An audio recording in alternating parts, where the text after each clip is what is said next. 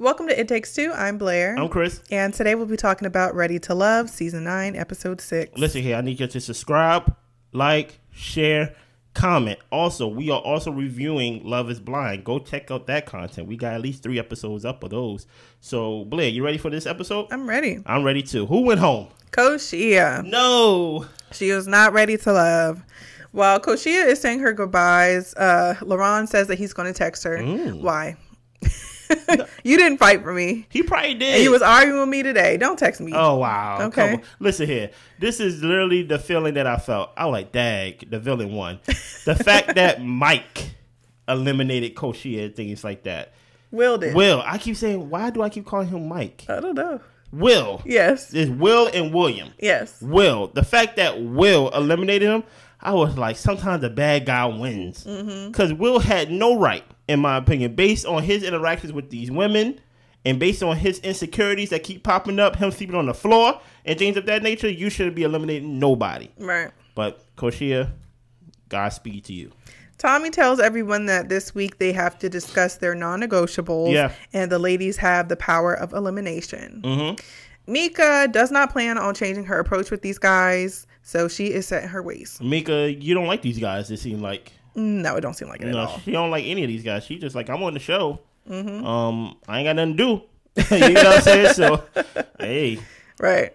Well, Rasheena and Justin go on a date. She takes him to go salsa dancing. Mm-hmm. uh huh. He is nervous. Yeah. They ended up getting into their flow. The teacher's teaching them, and it's it's going pretty nice. Mm-hmm. They sit and talk after the class, and her non-negotiable is communication or poor communication. Yeah, She says you got to speak up. you got to. He doesn't have a problem expressing himself. He just needs someone who makes it easy to talk about anything. And he feels that Rasheena is easy to talk to, Mm-hmm. and she feels that Justin is rising on the top of her connection list. Listen, I she's like neck and neck. He's neck and neck with Chaz right now. I feel like Justin, you don't got to do much. There, there's things you don't have to do to be a good person on this show. You don't have to be like Lamar. You don't have to be like Will. Mm-hmm. You know what I'm saying? And just by that alone, you already like top three. Right. you get what I'm saying? it, it, it, just seems like this this pool of men is just Trash. it's piss in the pool. Yes. And, and like a little turd floating around in I think there. we got rid of the turd. That was Lamar. I think we I think we still got Oh, yeah, more. Jonathan. Yeah, I think we, I think I think I think he had a turd moment last episode. He absolutely you know, did. You know? Mm-hmm. Well, Alexis takes Chaz on a date. Okay. Which is kind of surprising to me because it didn't seem like they connected at all Mm-hmm. really um he's been waiting a long time for alexis he tells her Yeah. he felt bad about co- well first alexis asked how'd you feel about that girl going home Wait a minute. he said he felt bad about koshia going home because she was literally vulnerable earlier that day and was crying alexis said it didn't bother her Okay. you Mm-hmm. Get what you get Girl, why are you talking about her you're jelly. why are you talking about her on a date with chaz You're jelly. You should be focusing on you, focusing on the man in front of you, and building a connection. Why do you worry? Why are you worried about Koshia? She ain't even here. Ever ever since Koshia said you got the body of a twelve year old girl, It stuck with her. it, it listen here.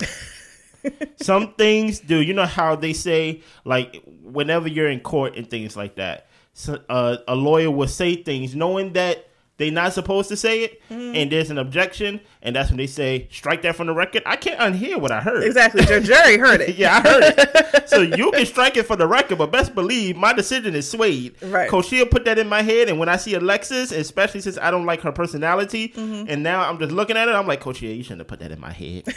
I can't strike that from the record. You know? Right. Go ahead. Well, Alexa shares with Chaz that during the ladies' lounge, things got heated with Mm-hmm. her, and their personalities clash. Yeah. Here, Alexis go talking about what happened in the ladies' lounge. Again. and this has nothing to do with the em- elimination, giving back feedback. Mm-hmm. She just over here just just sharing. Anyway, cheating is a non-negotiable for him. Yeah. Chaz and Alexis say that they have shared values, Mm-hmm. and Chaz says, "Okay, well, I'll call you as mine." He just talking. Mm-hmm. I don't even know what that means. Me neither. And he's giving her all these compliments. Uh, he didn't want to kiss Alexis because he's got a lot of connections, Mm-hmm. and he doesn't want to go around just kissing everybody. But she wanted a kiss. She did. She thought they were going to. You even seen her try to lean in a little bit. Yeah, to see if he would take it. exactly.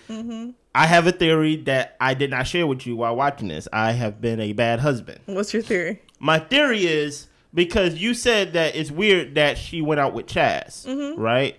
She went out with Chaz to get at the women. Oh, Because I think that she knows that most of the women feel like Chaz is the most good looking, okay. right? So if she would have had a connection with Chaz, or if she would have got Chaz to like her, because her, because my thing is, why didn't you use the time to go out with Will? Yeah, I You thought know- that was your guy. Or at least, you know what I'm saying? It's, come on now. You know what I mean? But she used it to go after, quote unquote, the apple of the women's eye, Mm-hmm. Chaz. And basically, so she could go back and say, Me and Chaz connected. We even kissed. Right. We did all this. Look at me. Mm-mm-mm-mm-mm. You get what I'm saying? Yeah. But, but Nothing she does come off as, as, as- genuine. as it- genuine. Yeah. So she. always an ulterior motive. Exactly. I feel like that's what she did because she's a pick me. You get what I'm saying? All right, And- call it. And she's like, guess who picked me? Guess who kissed me? So she could go to that woman's lounge and hold that up and be like, because she know most of those women don't like her. yeah, You get what I'm saying? That's just my theory. I, I can I can get along with that. Thank you. Patrice sets up a date with Alonzo, William, and Vanessa. Okay. And this is really just a date for Patrice because Alonzo and William are into her. Anyway, so the guys are her top connections. Mm-hmm. She wants to see if they're going to fight over her. Mm. William has tried to reach out to Vanessa, but never received a response. Mm-hmm. I'm a little bit salty about that. Just a little bit. Alonzo um, knows that there's competition with William for Patrice, but he doesn't really think it's a real competition. Yeah, he think it's like, okay, yeah. I got this in the bag. Vanessa felt like Patrice was in a love sandwich, and Vanessa was just in the audience. She was mm-hmm. like, I could have had my popcorn and been watching it just like the audience. Mm-hmm. Uh, Vanessa thinks it's more likely for a man to fall in love at first sight. Alonzo feels he can put up with anything as far as his non negotiables. He says he doesn't have any. Okay. Vanessa's non negotiable is poor communication. William needs a warm spirit, someone nice and understanding of his responsibilities as a father. Stop right there. Niceness is a very undervalued personality trait that people do not put up top. Mm-hmm. Having someone who is nice to you, I like the word kind, Yeah. right? Because kind to me is is is an actual act. Mm-hmm. You get what I'm saying? Niceness, like I could be nice, but I cannot be kind to you, Right. And things like that. Um, I think what William is talking about, because I think William put that up about warm spirit niceness.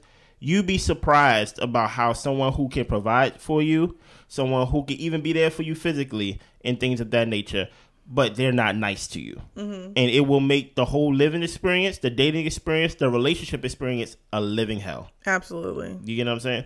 So I really do like the fact because I ain't gonna hold you. I do get tired of everybody talking about their non-negotiables and everybody say, well, at least all the women saying communication, communication, communication. I like the fact that William said niceness because at the end of the day, I want someone who's nice to me that can make me want to be nice to them as well. Yeah, someone you can really genuinely get along with and have a good time with. Yes. And y'all not sitting up arguing. Yes. And and tension in the house. Who wants to live like that? I won't.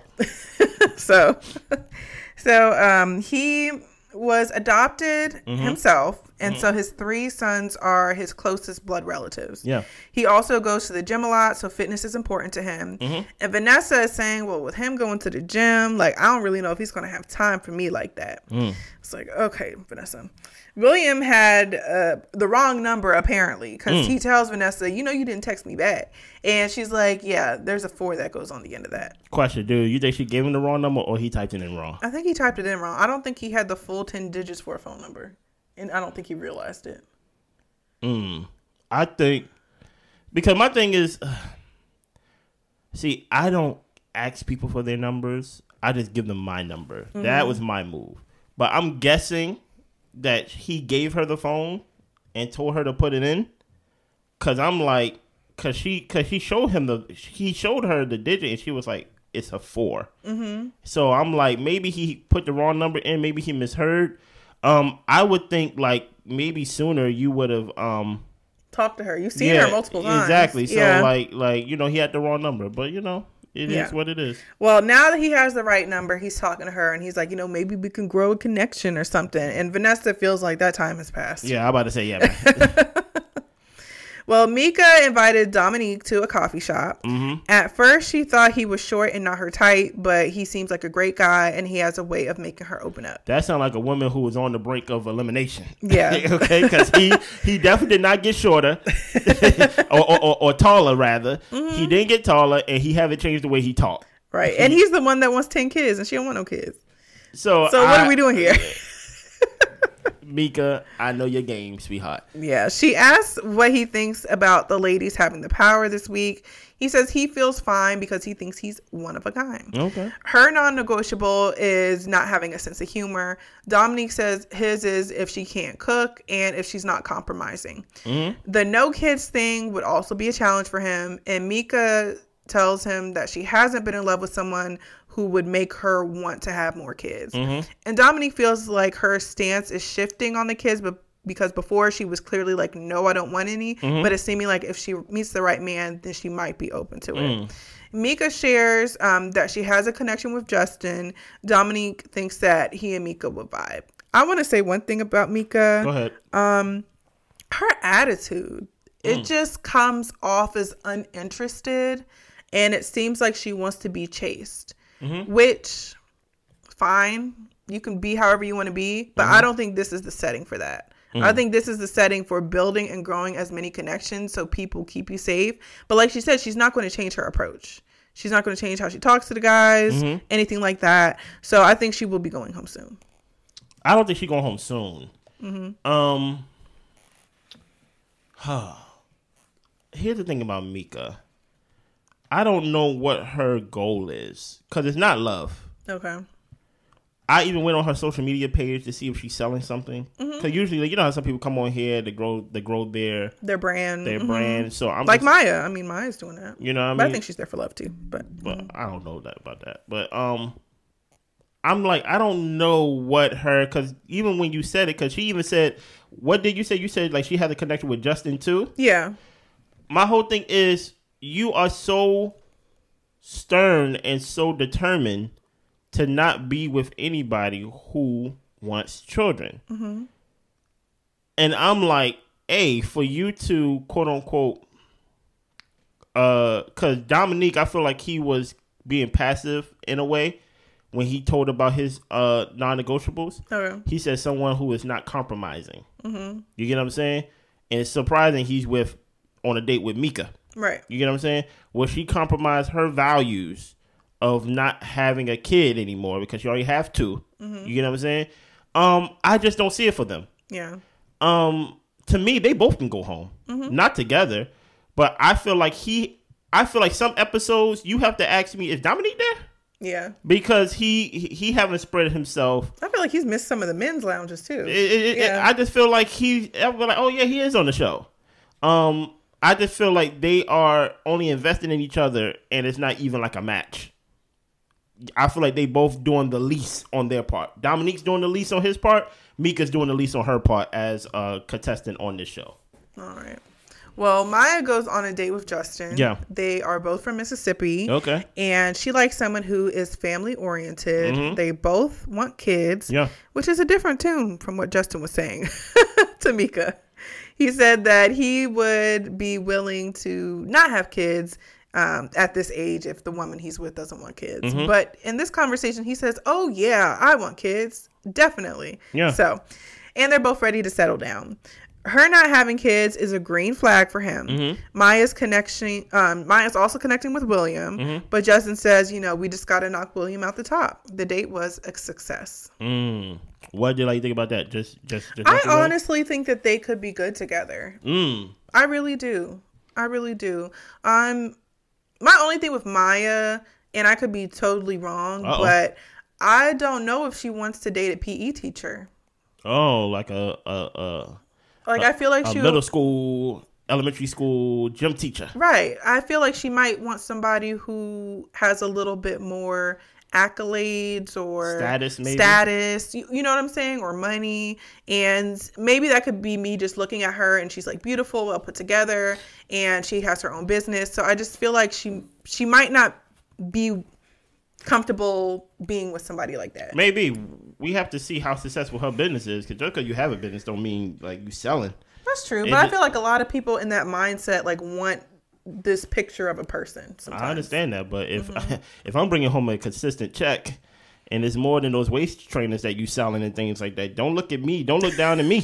you get what I'm saying? Yeah. Like, I give you a perfect example. Um, I was talking to one of my friends and things like that, Mm-hmm. and she was this was years ago, and she was talking about how she would never date a plumber, or she or she'll never date like any type of guys in those trades. But right now, People trades make but, good but money. right now, Mm-hmm. there's a shortage on plumbers, and she basically says she wants a guy who makes six figures. I said, well, you know, plumbers make six figures. There's there's actually was this contract to where they was like, hey, we need plumbers. We will start you off with hundred ten thousand dollars with a like ten thousand dollars signing bonus. Wow. You get what I'm saying? Yeah. But they don't want the quote unquote six figures. They want the status with the six figures. Right. I want the entrepreneur six figure guy, not the one that deal with boo boo six Right. figure guy. you Right. Uh-huh. know what I'm saying? So that leads to your point to where he may make the money, but he may not have the job status Mm-hmm. that um that will make them look like a power couple. Right, and maybe that's where I'm getting it from. Maybe it's not just Because her I think appearance. I think I heard her because she that. Mm-hmm. did say power couple and i'm like okay well what does that look like to you to some people it could be two employed individuals Yeah. who have a great life and are able to go on vacations a couple times a year Mm-hmm. and for some people it means a million dollar lifestyle Yeah, we'll see. Yeah. I think you took a big swing. Hopefully, you're right. If you're not right, we did this whole segment for nothing. okay. if i'm wrong i apologize Exactly. Rasheena set up a date with Jonathan Mm-hmm. and Will for them to make body butter. Will thinks Rasheena is cool and he's open, but Yeah. Mm-hmm. he's really only seeing it for Alexis. Uh, the teacher plays a sound ball, sound bowl, and Jonathan felt it was a little bit too loud, It a little bit too much in his ear. It was kind of loud for the TV too. She asked him, uh, them to make a scent that they think represents her, and she's going to make a scent that kind of is like a combination of both of them. Hmm? So Don't do that for me. so they do that. They make their body butters, kind of rubbing it into. Uh, well, Will was rubbing it into her skin. Jonathan was rubbing his own hands together with the Li- body butter. Listen, he fool me once, shame on me. you know what I'm saying? He like, I'm not touching nobody. I'm not doing anything on anybody this episode. No, I just rub it on myself. You know what I mean? Jonathan, I think it's a little too late for you, brother. Right. You know? Well, Will needs someone uh, who has faith in God. Mm-hmm. Rasheena's non-negotiables are trust, lying, um, and no commitment. Yeah. Jonathan thinks that Rasheena's a cool person, but he's a quiet guy and Mm-hmm. he doesn't like to reveal too much. Mm. He kind of plays off his non-negotiables by saying, you know, he, he doesn't want somebody who smokes Mm-hmm. and he needs to know if she's able to change oil. Yeah, like the thing about it is they they asked him what is his non-negotiables and he don't want to answer. Yeah. He just want to be Mr. Secret guy, Mr. 007. You know what Yeah. I'm saying? Mr. James Bond. It's like, bro, you have to give and take. Yeah, you got to share something. Exactly. Yeah. Well, he leaves. He says he's got somewhere to be. Mm. Okay. So Will and Rasheena are left, and Will is really drilling her with questions. And he asks her how she would res- would support her ideal man. Mm. And she says any way he needs support. He asks, "Who do you feel you are least connecting with?" And she says, "Laron." Mm. Well, I don't know how the question about Laron is going to help you get to know her better, but I think that's Will being like his girlfriend Alexis and just being chatty and gossipy. Mm-hmm. Why do you care who her least connection is with? Do well, you want a connection with her or not? Listen here. I don't understand why these guys don't understand the concept of the show. The women got the power this week. like, like, I don't really get it. He put himself in a position of power by drilling into her. I'm like, bro, what? Man, I don't understand it. Maybe these guys have watched the show before. I don't know.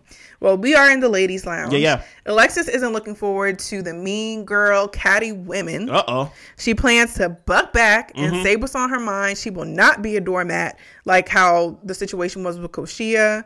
And the ladies go ahead and discuss their dates. You realize she said that to us. She didn't say that to them. exactly. Mm-hmm. Go ahead.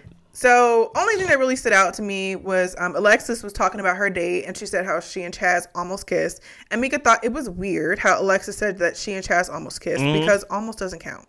Mm, So why are you even saying that? that supports my theory, right? she wanted something to take back to the women to get the women all like, the guys is on me. You know what I'm saying? And Mika's like, listen here, I don't like you. That's that, that, that's basically what Mika said. Yeah. And guess what? We will I'm speaking for me because Blair don't like to be on my side. we will remember Koshia throughout the rest of this season on this side of the table. I will least. agree with that. We Because I, I, I liked Koshia. She's I all right too. with me. We thought she was Tranquilla, Tranquilla, yeah, Tequila.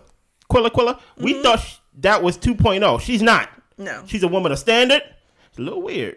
You know, on first date, expect her to lean in on you. Lean back. You know what I'm saying? but other than that, I am on your side, Coach Shield. We will make sure that Alexis is gone from this show by next episode. We will see to it. Oh, all right. Mind you, it's already recorded. It's already done. You get what I'm saying? I, I I haven't done it in a while. I feel like there will be a pink slip, uh, uh, a pink slip Saturday Mm. for Alexis. We hope next week I can bring out the pink slips and give her her walking papers. All right. Because Alexis, we are tired of you. Mika's tired of you, and we will get rid of you next week. That's just how I feel. Okay. Well, the ladies feel Jonathan isn't open. Oh, yeah. Patrice says saying things discussed in the lounge shouldn't happen. And she Mm. knows that Alexis wants to protect these guys. Mm-hmm. And she felt away how Will approached her and tried to check her for what she said in the ladies' lounge. Mm-hmm. Yeah, yeah, yeah. Alexis said that she had to give him examples and feedback for him to work on. Uh huh. Go ahead. Mika chimes in and says, You're the only one who talks to him. We know it was you. And Patrice felt like Alexis probably said her name, but Alexis didn't say her name. No. He did go around asking everybody. But I feel like most people probably didn't remember because they didn't care to. Yeah, yeah. Alexis is like, Look, I have no control over how he reacts, um, but I told him because he needed feedback during eliminations. Listen here. The one was getting a little riled up. yeah. And Tom like, hey, hey, hey, hey, hey. Everybody's on their own journey. I'm like, Tommy, what? What? Tommy just want to get to his lines and get to his little baseball he So had he his, go home. in his back pocket he had the whole time and things like that. Listen, the women don't like Alexis and they don't like Will. Mm-hmm. That's why uh, Mika could confidently say when she speaks, I feel like she's kind of speaking for everybody. She's like, hey, you're the only one that talks to Will. Yeah. We don't like this boy who sleep on the floor. Right. You know what I'm saying? So like anything that comes off of that, we know it came from you. That's what happens. like you said, Tommy says everyone is on their own journey. Yeah. If we blend them, things will get messy. And he says, so let's move on. Yes, he ain't say nothing. He just got them to be quiet. Mm-hmm. So he says that there is going to be a curveball this week, and two of the men will be eliminated tonight. mm, The three men in the bottom are Will, William, and Jonathan. mm-hmm. Jonathan apologizes to Alexis again. Apparently, he apologized, like he called her, whatever, Yeah. about the pajama party. Alexis shares that the women don't think he's open, and he doesn't want to share info just for things to potentially not work. What? And Vanessa is out with Will, and she tells him that the ladies thinks he's chatty. Mm-hmm. He disagrees. A little chatty patty. Mm-hmm. That's worse than a guy could be. The ladies get the friend vibe from William, and Oh, he boy. says it's unnatural for him to pursue multiple women. And apparently, some of his non negotiables don't work for some of the women, like going to the gym. Oh my gosh. but I'll tell you one thing you don't need to go to the gym at midnight. Go to the gym at one, one in the morning. Yeah, you said That's go at suspicious. midnight. I said do not. Do not. No. That is my favorite time. Find another find another time of the day because that that feels suspicious to me. I. It's it's empty. Nobody's there. If you go at eight o'clock in the evening, it's It- empty at that time It's too. not. It's not that empty. Okay. It's not. It's not that empty. It's not as empty as I want it to be. Okay. Okay. Well, the ladies decide that Will and Jonathan are not ready to love. I hear all the audience that's watching this right now clapping with me. Yeah, I mean, finally. Finally, the Avengers came through. Just a week too late, but I understand. Well, we don't. We well, we did not like you. No. Okay, from the first episode to this episode, and Jonathan, you did yourself in when you was Mister uh, Freaky Man. Okay, And Mr. Incognito, you don't want to talk to nobody. You don't want to share anything. So, so what you here for? go back home to your ex-wife. You Right. Mm-hmm. get what I'm saying? Not baby mama. Go back to your ex-wife who still want a relationship with you. For all we know, we you're probably still married. For all you we know. because you over here keeping things secret too. How did you feel about justification coming through this week? I am just glad the ladies made the right decision. Yes. Both of these guys were very much into Alexis, very much not into getting to know anybody else. And Alexis didn't seem to be that much into them, really, to be oh honest. boy. And she seems like she's going after Chaz, which I don't think that's going to work. I think Chaz and Vanessa really have a, a good bond. Mm-hmm. I think Chaz was telling her the right things so that he can keep the favor of the women Exactly. and continue on from week to week so he can be with Vanessa. I think he thought it was So. weird that she asked him for, on a date. yeah, I think he thought it was weird that she felt they were going to kiss. You like, oh no, no, no, no, no.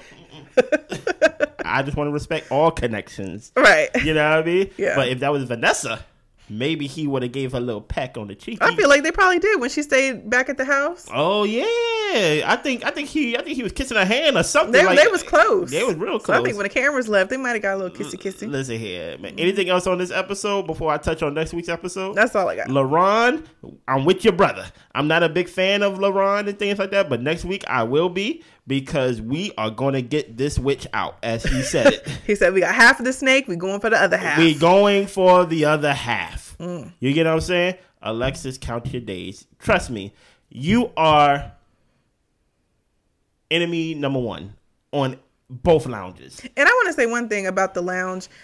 She got into saying something to Mika about pretty much like, because Mika was like, none of us talked to Will. And she's like, well, I don't know why, he, you know, he doesn't like you and he doesn't like you. And, you know, I can't explain why he don't like y'all and all Mm-hmm. this type of stuff. Like, you're making it seem like it's a prize for Will to like somebody This millionaire. who sleep on the ground. Dude, like, the way she puts these guys on the pedestals is just very odd to me. Alexis, How she speaks of them. you I'm gonna go like, home and guess what? You might as well start a review channel from the episode you get eliminated from. And and listen, I'm happy that we go get you out next week. If the women can vote women off, Alexis will be gone. Tell me what y'all think about Alexis in the comment. What y'all think about the season so far. Anything else on this episode, Blair? That's all I got. Y'all be good. See y'all next week. Bye.